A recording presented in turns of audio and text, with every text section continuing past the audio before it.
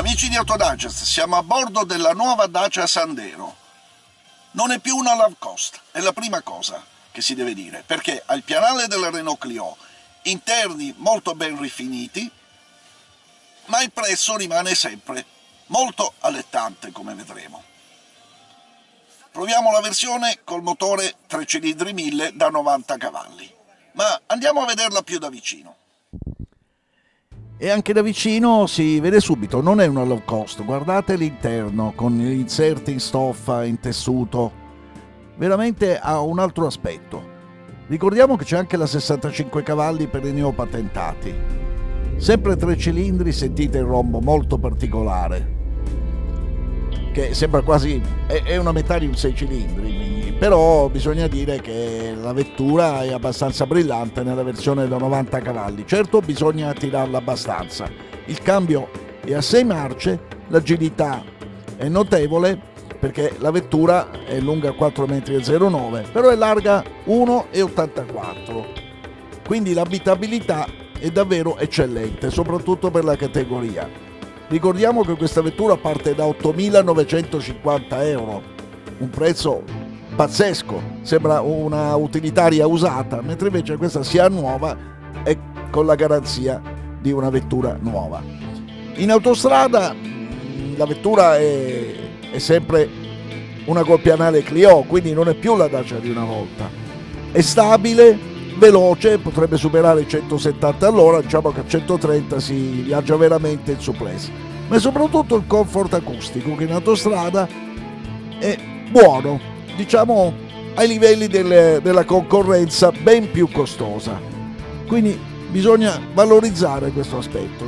È una Clio costruita un po' più economicamente. La stabilità è eccellente e ci sono anche i sistemi di sicurezza come la frenata automatica e per le manovre in città la telecamera posteriore.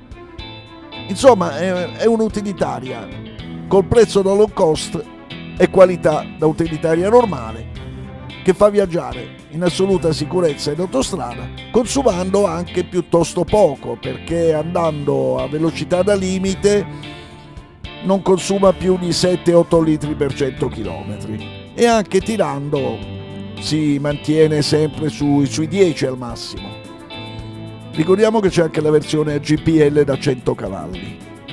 Insomma, un'auto completamente affidabile, con tanto spazio anche nel bagagliaio e 5 posti che se si viaggia in 4 sono estremamente comodi, anche e soprattutto per lo spazio riservato ai sedili posteriori.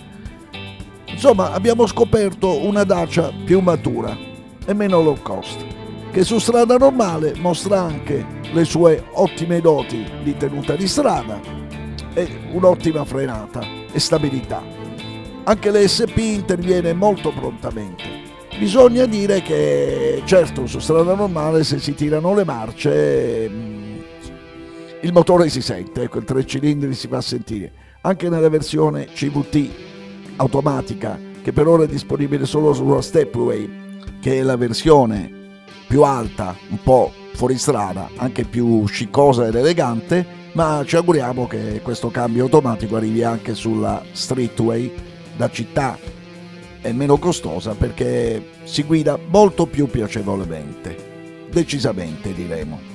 Insomma, se prendiamo anche la più costosa costa 13.600 euro con tutti gli optional, sempre una decina di migliaia di euro in meno delle concorrenti di simili caratteristiche.